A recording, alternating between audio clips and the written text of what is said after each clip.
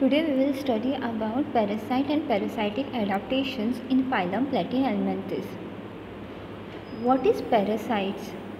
Parasites are the living organism that lives in or in or on the another organism and that another uh, on which they are found or lived uh, plus derive their nutrition are called as a host and from that host they get all the food and sometimes they provide shelter to the uh, the parasite. And it usually causes harm to it. But they will not kill their host because they need their host. They will injure them make it make them weak but they will not allow to kill them or they will not kill their host okay and what is adaptations? Adaptation is the action or process that or behavior that is uh, that is performed by an organism uh, to become um, in order to survive in the changing environment. So in other words the parasitic adaptation can be defined as the profound changes and the modification that occurs in order to uh, to survive of uh, successfully living so that the parasite is fully adapted inside the body of the host. Parasitic adaptations can be seen like uh, two, uh, that is morpho uh, can be of two type morphological adaptation and the physiological adaptation morphological adaptation that is that include the morphological characters that will show the different adaptation in, the, uh, in order to survive in the changing environment okay? So first one is the shape. The shape of the body of the parasite becomes flattened like a leaf or ribbon so that they can fit in the spaces where they have their habitat that is their body is designed in a such a way that the uh, they are able to fit into the desirable place or the space in the body of the host. Where the parasite will be usually will be found or uh, make their habitat where there are availability of the food and uh, like they can multiply. Okay so for example in uh, that is in another organism like in the digestive system then the nervous uh, not in nervous system in a respiratory system and all where they can derive the nutrients the energy which they require to survive. Okay? Uh, this morphological adaptations uh, are of uh, again can be of two type. That is uh, like of a two different type. That is there will be addition means uh, there will be um, either modification of the particular character okay? That is called uh, like um, uh, they will gain a particular uh, characters or they will either uh, degenerate a particular character in order to survive okay? So uh, first one we will uh, refer that is degeneration. That is two important um, like aspect that is degeneration and the uh, gaining of the character. So first we'll see the uh, degeneration. In degeneration what happens uh, particularly they involve the locomotors or the digestive and the sensory organs. As the parasite live on the digested or the semi digested food of the host? Their organs of the locomotion and the alimentations have been become simplified or reduced. Okay? So we'll consider the first the organ of locomotion that is there will be total reduction of the locomotor organs. Uh, basically this uh, total reduction of locomotory organ was observed in the adult parasite where uh, um, adult parasite um, while uh, the free living larval phases may have ectoderm become ciliated. But in what happened in adult what happened? The cilia have disappeared disappeared entirely from the outer surface as they are no longer necessary. Okay? For example um, this uh, in the free swimming larva like miracidium and the hexacanth of the flatworms this larval stage will show the ciliated forms.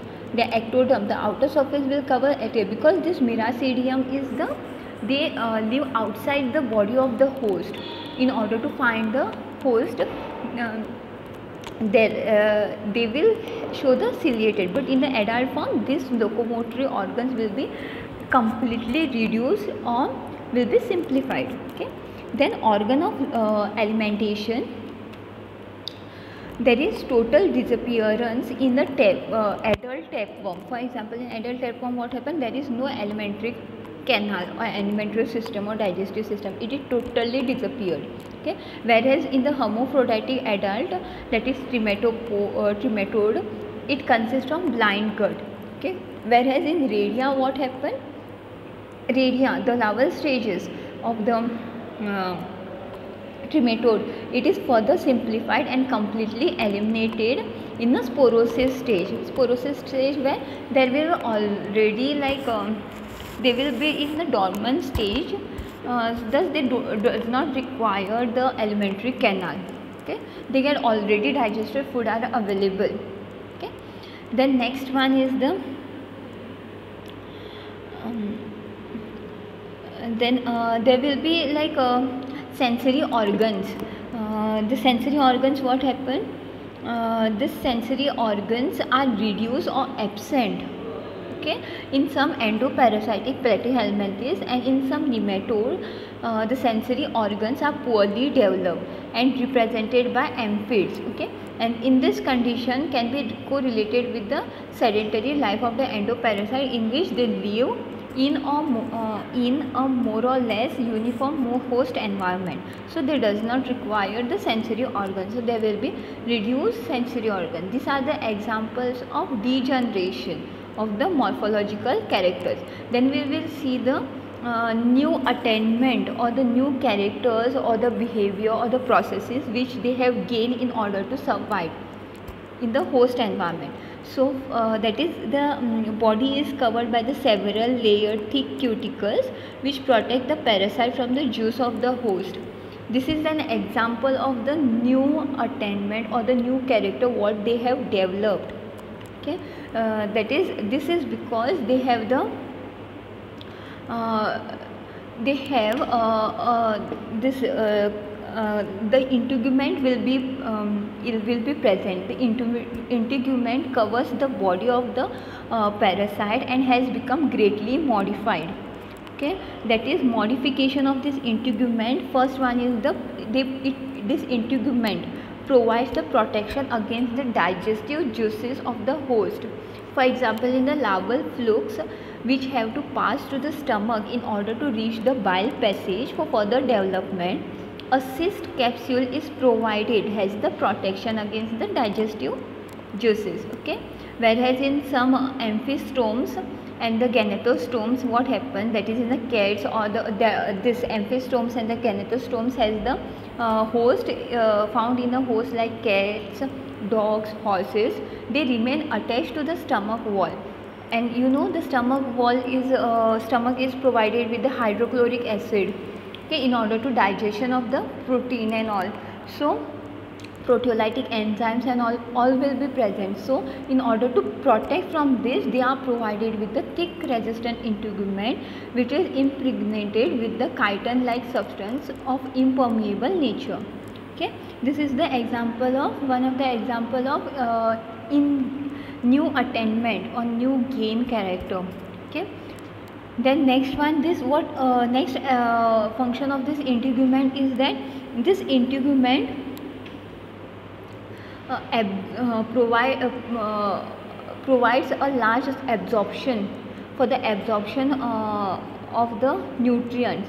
So um, the phenomena of absorption is strictly uh, like in the larval stages which develops in the lymph spaces of the uh, for example in mollusk or the blood streams or the muscle fibers or the musculature of the vertebrates in this what happens the adult blood fluke is in hepatic uh, portal system and in various species of the liver flukes uh, they will be uh, in this species what happens uh, this integument provides the uh, surface area uh, outer surface area helps in the absorption okay?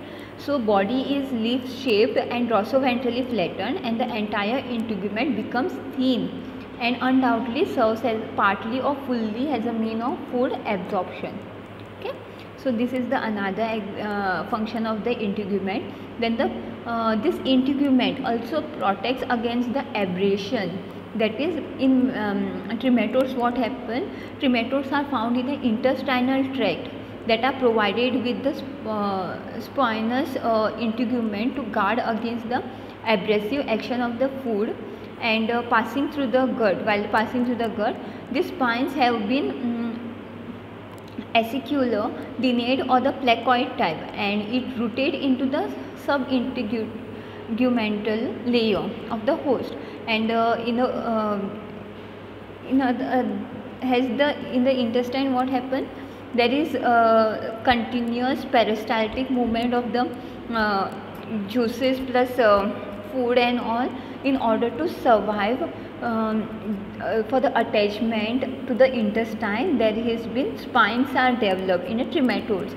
In the liver flukes what happens which are uh, which are also found in intestinal this parasite um, inhibits in the intestine or the bile duct okay? And this possess uh, spinous integument during its larval phases okay? And this helps them uh, uh, from the protects against the abrasion okay then uh, another function is they have gain of uh, like um, uh, for a firm grip on a host or in the uh, host of the body, a special organ of adhesion has been modified or the form. Okay, that is the form modification for attachment. Essential, uh, it is very essential for parasitic life uh, because of the uh, strong uh, host body. Okay so they are uh, like modifications such as acetabulum or the sucking uh, organs will be found okay they are basically for example in a liver fluke uh, it consists of two suckers on the ventral side of the body and one anterior and the other posterior. Okay? So both the end on the ventral side of the body one at anterior and the posterior they will be a sucking. Suckers are the present which helps in the uh, attachment to the substratum. Okay? Substratum is nothing but the lumen of the organism uh, host. Okay uh, then the, in case of the human tapeworm it consists either of sucking tongue or the groove of four cups of the cephalic end of the worm okay in human tapeworm. In a tapeworms another like they will be provided with the scolex or four large suckers for example in Taenia solium okay. Then the accessory suckers will also be present uh, or a leaf like outgrowth on a scolex called as a uh, bothridium will be present. Okay these are the few examples or the few modifications which I have seen in a parasites okay and this modification will be as per the uh, environment where they are inhibiting. Okay uh, for example in echino echinobothrium bears two bothria. Okay uh, that is a shallow grooves on the scolex and a spiny head stalk okay? This all will helps in the attachment to the host lining. Okay? Uh, these are about the suckers then the hooks.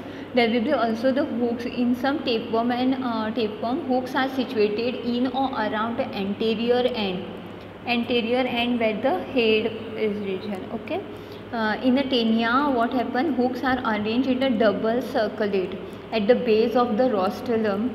Then uh, in the uh, tapeworm uh, like which are found in a dog it occurs in a several several rows around the proboscis which may be everted okay? And hooks are often provided with a series of teeth and are placed in a buccal capsule okay?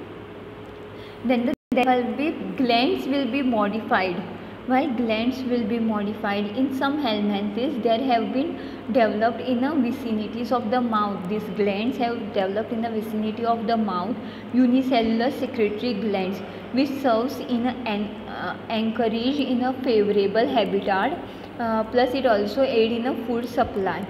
Okay? And uh, in trematodes what happen? These glands are unicellular glands uh, known as a cytogenous gland and are common in a uh, cercaria stage that is the larval stage and serves the purpose of penetration to the host tissue by elaborating the histoly histolytic substance.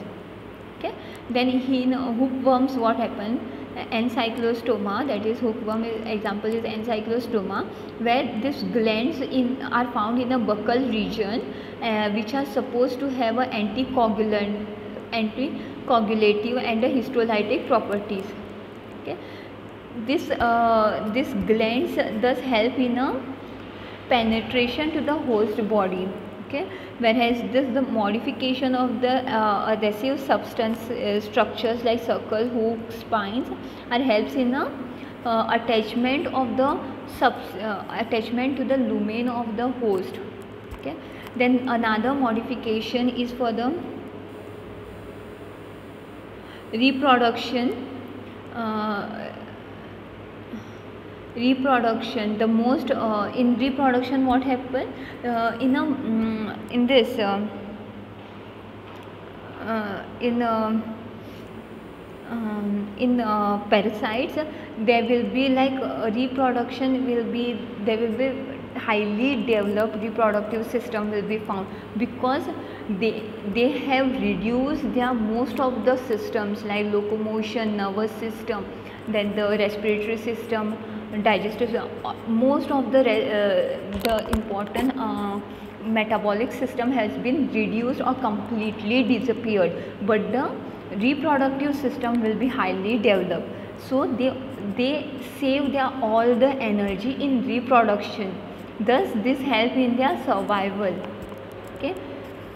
So as they are uh, dependent fully on the another organism for the nutrient they does not require their, they, they will not waste their energy in digestion of food or breaking down of oxygen or the respiratory or pigments and all. They will directly get the energy from their host but this energy will, they will use in a reproduction that will um, they will show a uh, highly developed reproductive system.